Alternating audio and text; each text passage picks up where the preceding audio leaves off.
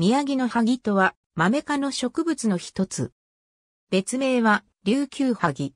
日本の宮城県で県下に指定されている。和名の由来は、宮城県に多く自生することから、歌枕の宮城野の萩にちなんで命名された。歌枕の方は特定の一種を指すものではなく、宮城野に萩が生えている風景から来たものである。日本特産で本州の東北地方、北陸地方、中国地方に分布する。よく園芸用として栽培され、庭木として盛んに植えられるが、野生では見当たらず、起源についてはよくわかっていない。落葉紅葉樹の低木で、高さは1から2メートルになり、枝は地面につくほどしだれる。葉は産出服用で五生する。商用は長さ2から6センチメートルの楕円型で、両端が尖っている。開花期は7から9月。四光色の花は長径で、長さは13から15ミリメートルほどある。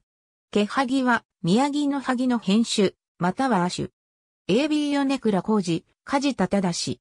レスパティザ・サンベールギー中井サブスプ、サンベールギー F サンベールギー。BG Plants 和名学名インデックス。2021年8月16日閲覧。米倉浩司、梶田忠。Lespedeza wilfordii auct. non Ricker。BG Plants 和名学名インデックス。2021年8月16日閲覧。米倉浩司、梶田忠。Lespedeza penduliflora Nakai。BG Plants 和名学名インデックス。2021年8月16日閲覧。米倉浩司、梶田忠。Lespedeza liukiuensis Hatus.。BG Plants 和名学名インデックス。2021年8月16日閲覧。ABCDEFGH 平野隆久監修。長岡書店編1997。P76、米倉工事、梶田正。